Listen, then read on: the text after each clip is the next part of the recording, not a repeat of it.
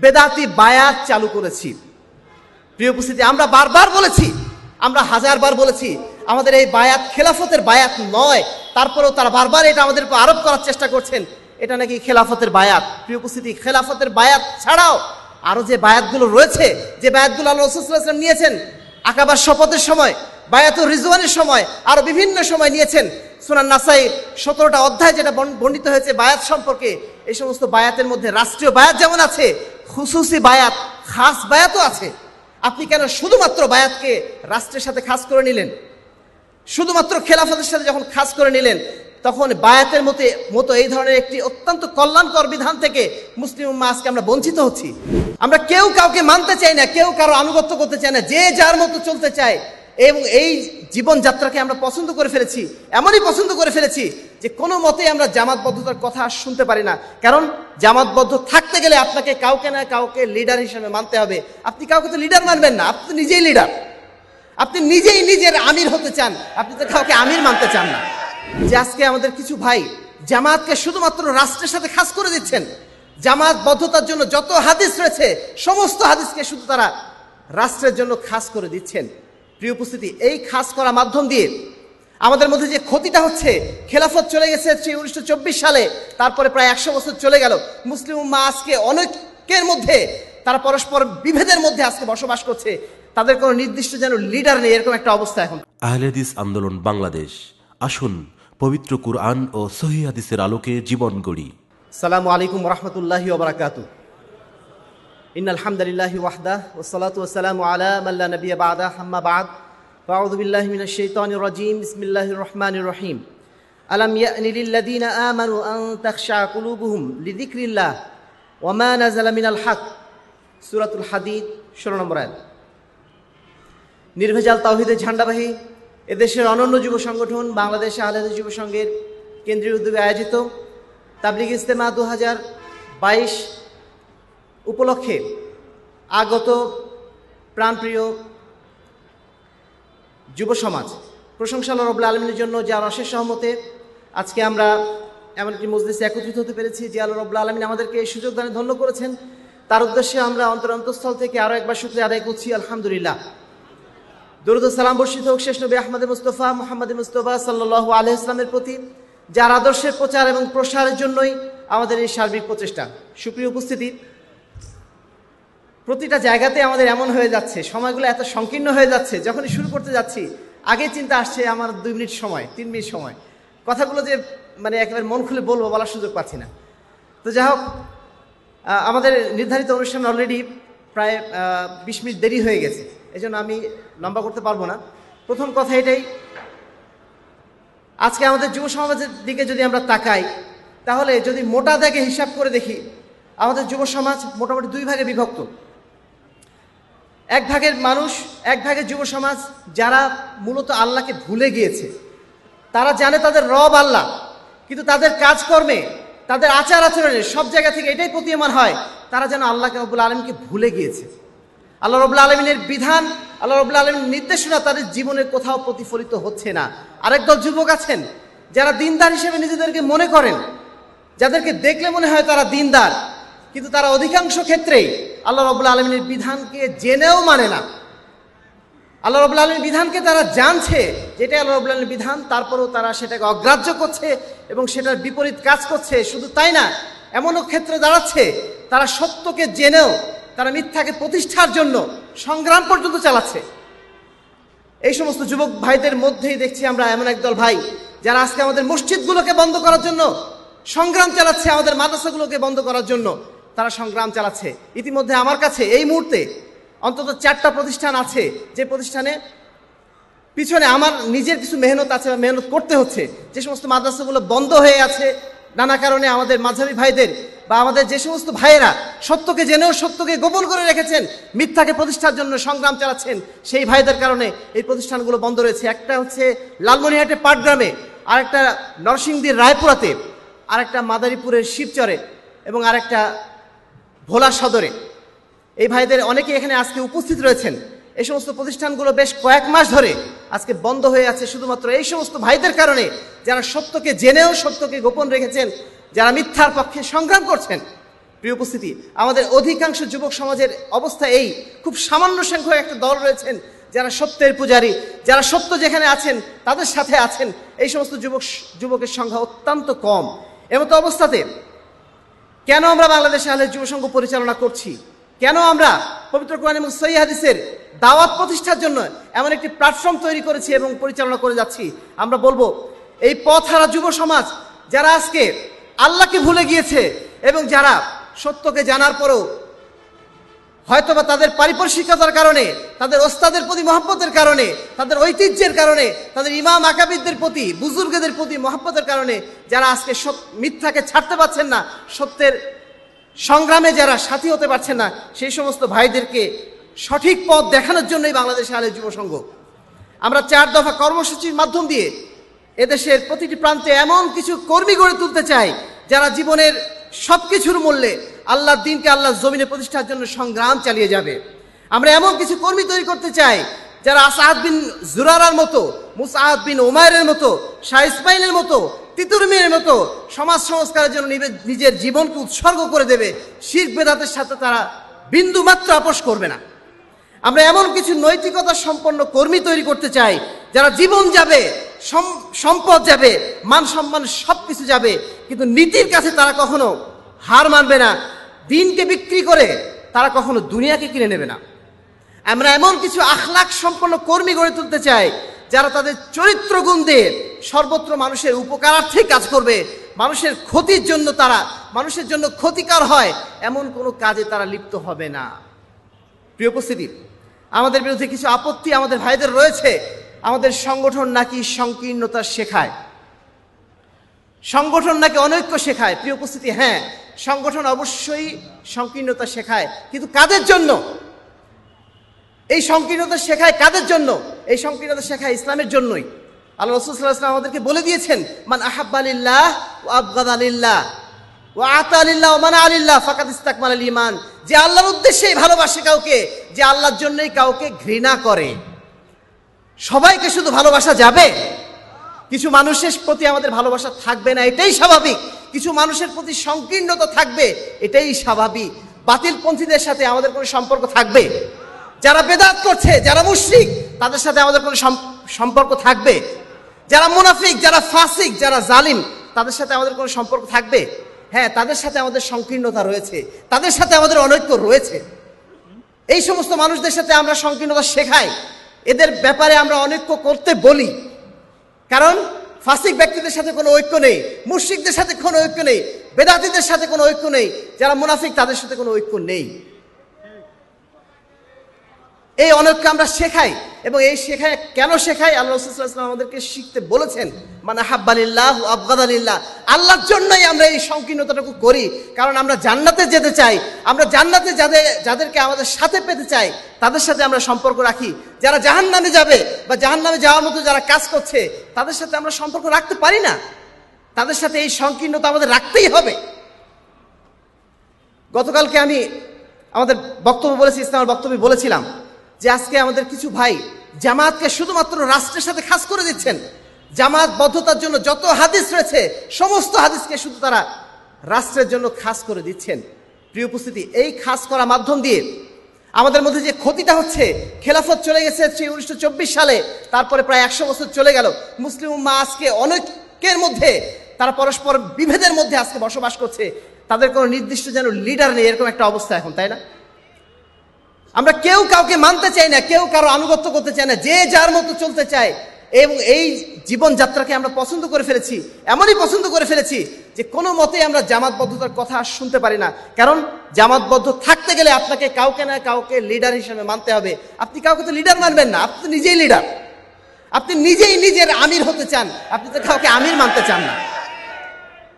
প্রিয় উপস্থিতি গতকালকে একটা হাদিস উল্লেখ করেছিলাম হুদাইফা ইবনু ইয়ামানের হাদিস, যে হাদিসটাকে বলা হয় ফিতনার হাদিস। ফিতনার সময় আমাদের করণীয় কি? যখন হুজাইফা রাজিয়াল্লাহ আনহু আল্লাহ রসুল সাল্লাহামকে জিজ্ঞাসা করলেন, আল্লাহ রসুল তাকে উপদেশ দিয়ে বললেন, তালজাম জামাত আল মুসলিমিন ওয়া ইমাম আহম তুমি মুসলমানদের জামাতকে আঁকড়ে ধরে থাকো এবং তাদের ইমামকে আঁকড়ে ধরে থাকো। এর ব্যাখ্যাটা কি? এর ব্যাখ্যা যদি রাষ্ট্রীয় জামাত হয়, তাহলে আজকে আমাদেরকে সেকুলার যে রাষ্ট্র আছে, সেই রাষ্ট্রের আনুগত্য স্বীকার করেই নিজেদের ইমান বাঁচাতে হবে। যে সেকুলার রাষ্ট্র এখন আছে, এই সেকুলার রাষ্ট্রকে আমাদের ইমান বাঁচাতে পারবে? ইমান বাঁচানোর জন্যই, ফেতনা থেকে বাঁচানোর জন্য আল্লাহ রসুল ওসিয়ত করলেন, তুমি জামাতুল মুসলিমিনকে আঁকড়ে ধরে থাকো। এখন যদি আমি রাষ্ট্রকে জামাত মেনে নেই, তাহলে আমাকে এই সেকুলার রাষ্ট্রকেই ওই জামাত মেনে নিতে হবে, জামাতুল মুসলিমিন মেনে নিতে হবে। যদি তাই মেনে নেই, তাহলে এই সেকুলার জামাত, এই সেকুলার রাষ্ট্র আমাকে কি কখনো জান্নাতের পথ দেখাবে? এটা কি সম্ভব? কোনো বিবেক সম্পন্ন মানুষ, কোনো আদর্শ সচেতন মানুষ এটা মেনে নিতে পারে। তাহলে এই জামাতুল মুসলিমের ব্যাখ্যাটা কি? প্রিয় উপস্থিতি, আমাদেরকে সতর্কভাবে চিন্তা ভাবনা করতে হবে। আমাদের আলম ওলামা যারা আছেন, আমরা তাদের বক্তব্যকে শ্রদ্ধা করি। তারা তাদের ব্যক্তিগত জায়গা থেকে হয়তো খুলুসিয়াতের সাথেই কোনো বক্তব্য দিচ্ছেন বা কোনো একটা ধারণা প্রকাশ করছেন। তবে আমরা কারোর ব্যক্তিগত মতামতের ওপরে আল্লাহ রসুল্লাহ ইসলামের ওসিয়তকে সবার আগে ঊর্ধ্বে স্থান দিতে চায় আল্লাহ রসুল্লাহ ইসলামের ওসিয়তে আমাদের কাছে সবচেয়ে বেশি গুরুত্বপূর্ণ ওলামা একরামের বক্তব্যের চেয়ে। নিঃসন্দেহে আমরা তাদের শ্রদ্ধা করি, কিন্তু আল্লাহ রসুল্লাহ ইসলামের ওসিয়তের ঊর্ধ্বে তাদের বক্তব্যকে আমরা স্থান দিতে পারি না। এটা আমাদের সাফ কথা। দ্বিতীয় যে বিষয়টি, আমাদেরকে অনেক ভাই বলছেন, আমরা নাকি বেদাতি বায়াত চালু করেছি। প্রিয় উপস্থিতি, আমরা বারবার বলেছি, আমরা হাজারবার বলেছি, আমাদের এই বায়াত খেলাফতের বায়াত নয় তারপরেও তারা বারবার এটা আমাদের উপর আরোপ করার চেষ্টা করছেন। এটা নাকি খেলাফতের বায়াত। প্রিয় উপস্থিতি, খেলাফতের বায়াত ছাড়াও আরও যে বায়াতগুলো রয়েছে, যে বায়াতগুলো আল্লাহ রসুলাম নিয়েছেন, আকাবার শপথের সময়, বায়াতুর রিজওয়ানের সময়, আরও বিভিন্ন সময় নিয়েছেন। সোনান নাসাই সতেরোটা অধ্যায় যেটা বর্ণ- বর্ণিত হয়েছে বায়াত সম্পর্কে, এই সমস্ত বায়াতের মধ্যে রাষ্ট্রীয় বায়াত যেমন আছে, খুসুসি বায়াত, খাস বায়াতও আছে। আপনি কেন শুধুমাত্র বায়াতকে রাষ্ট্রের সাথে খাস করে নিলেন? শুধুমাত্র খেলাফতের সাথে যখন খাস করে নিলেন, তখন বায়াতের মতে, মতো এই ধরনের একটি অত্যন্ত কল্যাণকর বিধান থেকে মুসলিম উম্মা আজকে আমরা বঞ্চিত হচ্ছি। কারণ আজকে কোথায় খেলাফত আছে? সারা বিশ্বের কোথায় আজকে খেলাফত আছে আপনাকে দেখাতে হবে।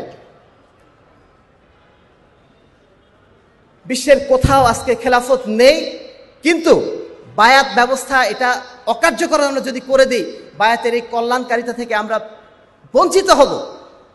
আমরা এটাই বলতে চাই যে বায়াতের কথা আমরা বলেছি, এই বায়াত হচ্ছে আমাদের পারস্পরিক কমিটমেন্টের জন্য এবং দাওয়াতি ময়দানের জন্য আমরা পরস্পর সহযোগিতার জন্য, পরস্পর যেন অঙ্গীকারাবদ্ধ হয়ে যেন কাজ করতে পারি। শপথ নেই এমন কোনো জায়গা নেই। প্রত্যেক জায়গাতে শপথ নিতে হচ্ছে। আপনি একটা মাদ্রাসায় যখন টিচার হিসেবে জয়েন করছেন সেখানে আপনাকে কিছু শর্ত পূরণ করে শপথ করতে হচ্ছে। যেখানেই আপনি যান না কেন, আপনি যখন আর্মিতে যাচ্ছেন, আপনি যখন বিডিআরে যাচ্ছেন যেখানেই আপনি যান না কেন, সমাজে যে কোনো গুরুত্বপূর্ণ কাজ করতে গেলে আপনাকে অবশ্যই শপথ গ্রহণ করতে হচ্ছে। আপনি ইউনিয়ন কাউন্সিলের কাউন্সিলর হন, মেম্বার হন সেখানেও পর্যন্ত আপনাকে শপথ করতে হচ্ছে। এই শপথের নামটাই যদি বায়াত হয়, সেটা যদি আল্লাহর নামে হয়, এতে এত- এত আপত্তির কারণটা কি? আমাদের ওলামা এখানে কিছু বলছেন যে, বায়াতের বদলে আমাদেরকে শপথ শব্দটা উল্লেখ করলে ভালো হয়। তাহলে আর কোনো বিবাদ থাকে না। প্রিয় উপস্থিতি যেই শপথটা এমনিতেই হয়, অন্য কোনো মানুষের নামে হয়, সেটাকে আমরা শপথ বলতে পারি। ওই জিনিসটাই যখন আল্লাহর নামে হয়, সেটা যদি আমরা বায়াত বলি, শুধুমাত্র শব্দের কারণে যদি এত দ্বিধাদ্বন্দ্ব হয়, কেন আমরা শপথ বাদ, মানে- মানে শপ বায়াত শব্দটা বাদ দিয়ে শপথ শব্দটা নেব? আমাদের যদি কিছু নিতে হয়, আমাদের যদি উসুয়ায় হাসানা গ্রহণ করতে হয়, সেটা আল্লাহ রসুলের কাছ থেকেই গ্রহণ করা উচিত, তাই না? আল্লাহ রসুল বায়াত শব্দ ব্যবহার করেছেন, আমরা বায়াত শব্দ ব্যবহার করছি। একই অর্থে যদি ব্যবহারের সমস্যাটা কি? প্রিয় উপস্থিতি, আজকে বায়াত জিনিসটা নিয়ে এত বেশি জটিলতা করার দরকার ছিল না। খুব সহজ একটা জিনিস। আমরা যে বায়াতের কথা বলেছি, এই বায়াত কারোর জন্য বাধ্যতামূলক নয়, এটা ইজবারি বায়াত নয়, এটা এখতিয়ারি বায়াত। আপনি যখন সংগঠনের সদস্য হচ্ছেন, তখন সংগঠন আপনাকে এই শর্তারোপের, এই কিছু শর্তের মাধ্যম দিয়ে আপনাকে দায়িত্বশীল হিসাবে গ্রহণ করছে। সেইটার নামই হচ্ছে বায়াত। এটার অর্থ এই না, আমি খলিফা হিসাবে বায়াত নিচ্ছি এবং বাংলাদেশের সমস্ত মুসলমানকে আমার হাতে বায়াত করতে হবে। এই ধরনের দাবি আমরা কখনো করেছি? আমাদের সংগঠন কখনো করেছে? তাহলে আপনারা আমাদের উপরে এই জিনিসটা চাপিয়ে দিচ্ছেন কেন? কেন এটা খেলাফতে বায়াত হিসাবে আপনি চাপিয়ে দিচ্ছেন আমাদের উপরে? আমরা বারবার বলার চেষ্টা করছি, বারবার বলছি এটা খেলাফতের বায়াত নয়, এটা খুসুসি বায়াত। যে বায়াত আল্লাহ রসুল্লাহ ইসলাম পারস্পরিক সহযোগিতার জন্য গ্রহণ করেছিলেন বায়াতুল আকাবাতে বায়াতুল রেজওয়ানে অথবা অন্যান্য বিভিন্ন ক্ষেত্রে। আমরা সেই বায়াতের কথাই বলেছি এবং এই বায়াতের মধ্যে অনেক কল্যাণ রয়েছে। আল্লাহর নামে যখন আমি পারস্পরিক শপথের মাধ্যম দিয়ে কাজ করছি, নিঃসন্দেহে শপথ ছাড়া কাজের চেয়ে সেটার মধ্যে কমিটমেন্ট বেশি থাকে, তাই না? সেইটার মধ্যে পারস্পরিক একটা অঙ্গীকার আরও বেশি থাকে, তাই না? আপনি সাধারণ একটা ফর্ম ফিল আপ করে আপনার মধ্যে যে ফিলিংসটা থাকবে, আপনি যখন বায়াতের মাধ্যম দিয়ে পারস্পরিক সহযোগিতার জন্য অঙ্গীকারাবদ্ধ হবেন, নিঃসন্দেহে তার ফিলিংসটা অনেক বেশি উন্নত হবে, তাই না? আল্লাহর জন্য কাজ করার মধ্যে নিজের মধ্যে একটা ফিলিংস জাগ্রত হবে। এই জিনিসটাই হচ্ছে বায়াতের উপকারিতা। আপনি কেন এটাকে বারবার খেলাফতের সাথে জয়েন করে সেটাকে বেদাতি বায়াত হিসেবে আখ্যা দেওয়ার জন্য আপনি উঠে পড়ে লেগেছেন? প্রিয় উপস্থিতি, আমি সেই সমস্ত ভাইদের প্রতি আন্তরিকভাবে অনুরোধ করব, যারা জামাত নিয়ে, বায়াত নিয়ে বারবার এই কথাগুলো বলছেন, তাদের উদ্দেশ্য আমাদের কিছু- সৎ উদ্দেশ্য মনে হয়নি আমাদের মনে হয়েছে তারা আসলে একটি সংঘবদ্ধ একটি আন্দোলনকে, একটি সংঘবদ্ধ জামাতকে তারা খণ্ড বিখণ্ড করে দেওয়ার জন্যই এই সমস্ত কথাগুলো বলে বেড়াচ্ছে। যদি তাদের সৎ উদ্দেশ্য থাকতো, আমাদের সেটা নিয়ে আলোচনা করার, সেটা নিয়ে চিন্তা করার একটা সুযোগ থাকতো। কিন্তু আমরা শুরুতেই যখন দেখছি তাদের মধ্যে একটা অসৎ উদ্দেশ্য, তখন আমরা তাদের সেই কথাগুলোকে কীভাবে গ্রহণ করব? প্রিয় উপস্থিতি, আমি সেদিকে আর আগাবো না। আশা করি মূল বিষয়গুলো আপনাদের বোঝা হয়ে গেছে। এবারে আমি সর্বশেষ কথাটি যে- যেটি বলব আমাদের করিম ভাইদের উদ্দেশ্যে, হয়তোবা বাংলাদেশ আলে যুব সংঘের সভাপতি হিসাবে আপনাদের সামনে এই যুব সমাবেশে আমার শেষ দাঁড়ানো। সেজন্য আমি করি ভাইদের উদ্দেশ্যে যে কথাটি বলব, প্রথম কথা হচ্ছে এই, আমরা যেন প্রত্যেকেই আমাদের জীবনটা এলেম অর্জনের জন্য উৎসর্গ করে দিই। প্রতিটা মুহূর্তে যেন আমরা এলেম অর্জন করার চেষ্টা করি, সারাটা জীবন যেন আমরা শিক্ষার্থী হওয়ার চেষ্টা করি। প্রতিদিন যেন আমরা কিছু কিছু শেখার চেষ্টা করি, আমাদের জীবনটা যেন শেখার পিছনে ব্যয়িত হয়। দুই নম্বর, আমলের ক্ষেত্রে সাধ্যমতো অগ্রগামী হওয়ার চেষ্টা করুন। ফাস্তাবিকুল খায়রাত, কল্যাণের জন্য, সৎ আমলের জন্য পরস্পর প্রতিযোগিতা করুন। কে কার চেয়ে বেশি সৎ কাজ করতে পারেন? কে কার চেয়ে বেশি নেক আমল করতে পারেন? এই প্রতিযোগিতায় সবসময় নিজেকে লিপ্ত রাখুন, নিজের ইমানকে তাজা রাখুন। তিন নম্বর বিষয় হচ্ছে, দাওয়াতের ময়দানে সবসময় নিজেকে যোদ্ধার মতো ভূমিকা পালন করুন। দাওয়াতি ময়দানে নিজেকে সবসময় যোদ্ধা হিসেবে মনে করুন এবং আপনার পাশে, আপনার আপনার নিজের জীবনে যেমন যেমন আপনার দাওয়াতটা বাস্তবায়ন করবেন, আপনার যারা পরিবার সদস্য রয়েছেন, যারা প্রতিবেশী রয়েছেন, যারা আপনার পেশা জীবনে আপনার সহকর্মী রয়েছেন, যারা যে যেখানে রয়েছেন আপনার গণ্ডির মধ্যে, তাদের সকলের কাছে এই ওহির বিধানের দাওয়াতটা পৌঁছে দিন। আমরা যদি আমাদের এই দাওয়াতি মেহনতটাকে অব্যাহত রাখতে পারি তাহলে ইনশাআল্লাহ সমাজে আজকে যে বাতিল দাওয়াতগুলো প্রচলিত রয়েছে, সেই দাওয়াতগুলো ক্ষমতা নেই আমাদের এই দাওয়াতের সামনে দাঁড়ানো। কারণ পবিত্র কোরআন এবং সৈয়াদিস ভিত্তিক যে দাওয়াত, এর চেয়ে শক্তিশালী দাওয়াত কি আর হতে পারে? আপনি যখন এই শক্তিশালী দাওয়াত নিয়ে সমাজের বুকে দাঁড়াবেন, তাওহিদ এবং সুন্নাতের দাওয়াত নিয়ে দাঁড়াবেন, সেখানে শির বেদাত কখনোই টিকে থাকতে পারে না। আমরা আজকে আমাদের দাওয়াতের ক্ষেত্রে দুর্বল অবস্থানে রয়েছি বলেই আজকে শির বেদাতের পক্ষে যারা কাজ করছে, তারা আজকে বিজয়ী হয়ে গেছে, তারা আজকে সমাজের বুকে এত বেশি প্রভাবশালী হয়ে গেছে। প্রিয় উপস্থিতি, আপনাদের প্রতি অনুরোধ করব, আমাদের যে যুব সমাজ এখানে যে কয়জন আজকে উপস্থিত রয়েছেন, আলহামদুলিল্লাহ, শুধুমাত্র এই কয়জন যুবক সমাজ, এই কয়জন যুবক যদি তাদের নিজ নিজ জায়গা থেকে দায়িত্বটা পালন করে এই সমাজ পরিবর্তন হতে খুব বেশি সময় লাগার কথা নয়। আমরা এই সেশনে যুব সংঘের পক্ষ থেকে যে স্লোগানটা তুলেছি ওহির আলোয় উদ্ভাসিত হোক বাংলার, ওহির আলোয় উদ্ভাসিত হোক বাংলার প্রতিটি ঘর। এই চিন্তা, এই ফিকির যেন আমাদের প্রত্যেকের মাথায় সর্বদা থাকে। চার নম্বর বিষয় হচ্ছে ধৈর্য এবং ইস্তেকামাত। ধৈর্য এবং ইস্তেকামাতের সাথে দিনের পর টিকে থাকুন। আমরা জানি, আজকে যারা এখানে উপস্থিত রয়েছেন হয়তো বা আগামীকালকে অনেকেই এখান থেকে থাকবেন না। আগামী দশ বছর পরে হয়তো আপনাদের অনেককেই আমরা এখানে দেখব না। আগামী পনেরো বছর পরে আমাদের স্টেজে আজকে যারা আছেন, হয়তো তাদের অনেককে আমরা দেখব না। কেন দেখব না? এই না দেখার পিছনে সবচেয়ে বড় কারণ হচ্ছে এই ধৈর্য এবং ইস্তেকামত না থাকা। এই ধৈর্য এবং ইস্তেকামত যদি আপনাদের মধ্যে থাকে, আমাদের মধ্যে থাকে, আমরা যদি আমৃত্যু এই মেহনতের উপর টিকে থাকার সংকল্প করতে পারি তাহলেই হয়তোবা আমরা এই ময়দানে টিকে যাব। আর যদি এই জায়গা থেকে আমরা বিচ্যুত হয়ে যাই, আমাদের মধ্যে ইস্তেকামতের এই অঙ্গীকার যদি না থাকে, তাহলে হয়তো আজ আছি, আবেগের বসে কিন্তু আগামীকাল এই আবেগ যখন শেষ হয়ে যাবে, তখন আমরা আবার নিজ নিজ স্বার্থের জায়গা থেকে তাড়িত হয়ে দুনিয়াবী স্বার্থের পিছনে আমরা আবার ছুটে চলবো। আমি আপনাদের প্রতি বিনীত অনুরোধ জানাব, প্রথম তিনটা জায়গায় যদি আমাদের কিছু ঘাটতি থেকেও থাকে, শেষ জায়গাতে, অর্থাৎ ধৈর্য এবং ইস্তেকামাত এই জায়গাতে যেন আপনাদের ঘাটতি না থাকে। যদি ঘাটতি থাকে, আপনাকে আমরা নিশ্চিত আগামী এক বছর পরে, দুই বছর পরে, পাঁচ বছর পরে আর পাবো না। যদি ইস্তেকামাত থাকে, আজীবন আপনাকে আমরা আমাদের- সাথী হিসাবে পাবো বা আবাকে আপনারা আপনাদের সাথী হিসাবে পাবেন। যদি ইস্তেকামাত না থাকে, আমিও আপনাদের সেই সমস্ত ভাইদের মতো হারিয়ে যাব যারা ইস্তেকামাত না থাকার কারণে এক সময় আমাদের মধ্যে থেকে হারিয়ে গেছেন। আল্লাহ রবুল্লা আলমিন আমাদের সকলকে হেফাজত করুন। সর্বশেষ আরও দু একটি কথা। আমাদের, আপনাদের প্রতি কিছু সতর্কবাণী। প্রথম সতর্কবাণী চরমপন্থা থেকে সর্বদা সতর্ক থাকুন। আমাদের মধ্যে অসংখ্য চরমপন্থী ভাই ধীরে ধীরে ঢুকে যাচ্ছেন। আগে আমরা শুধুমাত্র দেখতাম যে যারা তাকফির করতেন, তাদের সহজে চেনা যেত যে এরা ওকে কাফের বলে, তাকে কাফের বলে, সরকারকে তাগুদ বলে, সরকারকে কাফের বলে। আমাদের মধ্যে আরেক ধরনের চরমপন্থী ভাই বের হয়েছেন, যারা এখন আহলে জামাতের মানহাজ থেকে বের করে দেওয়ার জন্য নতুনভাবে দায়িত্ব গ্রহণ করেছেন। এই আরেক ধরনের চরমপন্থী। চুন থেকে পান খসলেই হয়, ওই লোকটা সালাফি মানহাজ বিরোধী, ওই লোকটা আহলে সুন্নাতল জামাতে খারিজ। এই ধরনের দায়িত্ব নিয়ে আমাদের কিছু তরুণ যুবক, যারা আলেমও না অ্যাকচুয়ালি তারা কিছু তরুণ যুবক, তারা এখন এই দায়িত্ব গ্রহণ করেছেন এবং অত্যন্ত গর্বের সাথে তারা ঘোষণা করছেন, অমুক আলেম, তিনি এখন মানাজের বাইরে। এই চরমপন্থা অবলম্বন যারা করছেন, তাদের থেকে আপনারা দয়া করে সাবধান থাকবেন। দুই নম্বর হচ্ছে, ব্যক্তি পূজা। একদল ভাই আছেন, যারা তাকলিদ থেকে বেরিয়ে এসেছেন, তারা এখন মাঝহাবি তাকলিদ থেকে বের হয়ে এসে এখন পবিত্র কোরআন সুন্নার অনুসারী হয়েছেন বটে, কিন্তু আবারও তারা নতুন করে আরেক ব্যক্তি পূজার মধ্যে ঢুকে গেছে। আমরা সর্বদা এটা বলি যে আহলের আন্দোলন এবং অন্যান্য সকল ইসলামের মধ্যে মধ্যে পার্থক্যটা কি? পার্থক্যের জায়গাটা কি? তাকলিদের সাক্ষী আহলে হাদিস আন্দোলন এবং অন্যান্য সকল ইসলামী আন্দোলনের মধ্যে পার্থক্যের জায়গা হচ্ছে তাকলিদের সাক্ষী। আহলে হাদিস আন্দোলন সর্বদা এই কথাই বলে, কোনো মানুষ অন্ধভাবে অনুসরণের যোগ্য না, একমাত্র রাসুসাল্লাহ ইসলাম বাদ দিয়ে।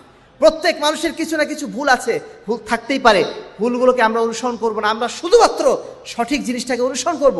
কিন্তু আজকে আমাদের কিছু ভাই ব্যক্তি পূজার নাম করে তারা আমাদের কিছু কিছু ওলামায় কেরামকে এমন উপ- উপর পর্যায়ে নিয়ে গেছেন যে তাদের প্রত্যেকটা কথাকে তারা একেবারে ওহির মতো মনে করে ফেলছেন। আর একদল ভাই আছেন, তারা আবার দেশ পূজা শুরু করেছেন। সৌদি আরবে আলমরা যেটা বলেছেন সেটাই হক। যদি সৌদি আরবে আলমদের বিরুদ্ধে বা বিপরীতে কোনো কথা হয়, সব বাতিল। এরা শুরু করেছেন দেশ পূজা। প্রিয় উপস্থিতি, তাকলিদের নাম করে সেটা ব্যক্তি পূজা হোক, সেটা দেশ পূজা হোক, সেটা সংগঠন পূজা হোক, সেটা দল পূজা হোক, যাই হোক না কেন কোনোটাকেই আমরা বিশ্বাস করি না। আমরা মনে করি প্রত্যেকের আমাদের কিছু না কিছু ভুল থাকতেই পারে। ভুল থাকবে এটাই স্বাভাবিক। আমরা প্রত্যেকে পরস্পরের সংশোধনকামী হব, কল্যাণকামী হব, কিন্তু কারোর কখনো আমরা অন্ধ পূজারী হব না। তিন নম্বর হচ্ছে অনর্থক বিতর্কে লিপ্ত না হওয়া। আজকে যেহেতু ফেসবুকের যুগ, ইন্টারনেটের যুগ, এই যুগে এসে পরস্পর পরস্পরের বিরুদ্ধে কথা বলাটা খুবই সহজ, তাই না? খুবই সহজ। যে কোনো বিষয়ে আপনার নিজের একটা মতামত দেওয়ার সুযোগ এখন খুবই সহজ। নিজের মতামত আপনি দিলেন, সারা দেশে ওটা ছড়িয়ে পড়ল। এটা কোনো ব্যাপারই না। এই ক্ষেত্রে এসে শয়তান যেটা সুযোগ নিচ্ছে আমাদের মধ্যে আমাদের মধ্যে পারস্পরিক ঝগড়া, বিবাদ, ছোটখাটো বিষয়ে বাঁধিয়ে দিচ্ছে। একটু ধৈর্য ধরুন। যে কোনো বিষয়ে একটু আপনার বিপরীত মত হলে সেখানে আপনি একটা বাজে কমেন্ট করে বসলেন। এটা দয়া করে করবেন না। এই অনর্থক কাজে লিপ্ত হবেন না। আমাদের মিশন আমাদের লক্ষ্য অনেক বড়। এই সমস্ত ছোটোখাটো জায়গায় আমরা যেন সময় নষ্ট না করি। আমাদের সময় দাম রয়েছে। আমাদের প্রত্যেকটা সময় যেন আল্লাহ রবুল আলমের সন্তুষ্টির পিছনে ব্যয়িত হয়। পরস্পরের পিছনে ঝগড়া, বিবাদ, পরস্পরের সমালোচনায় যেন আমাদের এই মূল্যবান সময়গুলো যেন নষ্ট না হয়। খেয়াল থাকবে তো ইনশাআল্লাহ? এই তিনটি সতর্কবাণী আপনাদের সবার উদ্দেশ্যে আমি উল্লেখ করছি। এক নম্বর চরমপন্থা, দুই নম্বর ব্যক্তি পূজা, আর তিন নম্বর হচ্ছে অনর্থক তর্ক বিতর্ক। এই তিনটা জায়গা থেকে যেন আমরা সতর্ক থাকি। পরিশেষে বাংলাদেশ আলী যুব সংঘের করি ভাইদের প্রতি আমরা আন্তরিকভাবে ধন্যবাদ জানাচ্ছি। আন্তরিকভাবে মুবারকবাদ জানাচ্ছি যারা অক্লান্ত পরিশ্রম করে সারা দেশের বিভিন্ন প্রান্তে পবিত্র কোরআন এবং সৈয়াদের এই হক দাওয়াতটাকে প্রচারের জন্য মেহনত করে যাচ্ছেন আল্লাহ রবুল্লা আলমিন। তাদের এই আন্তরিক মেহনতটুকু কবুল করে নিন। কাল কিয়ামতের ময়দানে যেন আমরা পরস্পর প্রত্যেকেই যেন একই সাথে একই জায়গায় জান্নাতুল ফেরদাউসে যেন অবস্থান করতে পারি। আল্লাহ রবুল্লা আলমিন আমাদের সকলকে এই সৌভাগ্য দান করুন। আমাদের প্রত্যেকের মধ্যে ইস্তেকামাত দান করুন। আমাদের জীবনের শেষ দিন পর্যন্ত, শেষ মুহূর্ত পর্যন্ত যেন আমরা এই দাওয়াতি মেহনতের মধ্যে, এই সমাজ সংস্কারের এই কার্যক্রমের মধ্য দিয়ে আল্লাহ রবুল্লা আলমিন যেন আমাদেরকে এগিয়ে নিয়ে যান। আমাদেরকে যেন তৌফিক দেন। এই দোয়া আমরা করছি। আমরা জানি না আমরা কতদিন বেঁচে আছি। আমাদের, আমার নিজেরই খালাতো ভাই গতকালকে মারা গেলেন। মাত্র চুয়াল্লিশ থেকে পঁয়তাল্লিশ বছর বয়স। একেবারে তরুণ, তাজা মানুষ। হঠাৎ করে মারা গেলেন, কোনো কারণ ছাড়াই হার্ট অ্যাটাক করে। আমরা ইদানিং দেখছি এরকমই যে আমাদের অনেক ভাই বয়স একেবারেই কম, হঠাৎ করে চলে যাচ্ছেন। আমরা জানি না আমাদের মধ্যে যারা এখানে উপস্থিত রয়েছেন, কে কবে চলে যাবেন। আমরাই বা কে কবে চলে যাব। আমাদের এইটুকুই কামনা যেন প্রত্যেকের থাকে। আমৃত্যু যেন যেন আমরা এই দিনের মেহনতে কায়েম এবং দায়েম থাকতে পারি। আল্লাহ রবুল্লা আলমিন আমাদের সকলকে সেই তৌফিক দান করুন। আল্লাহ আমিন। ওয়াখির দাওয়ানা। আলহামদুলিল্লাহ রবিল আলমিন আসসালামু আলাইকুম রহমতুল্লাহ বারকাত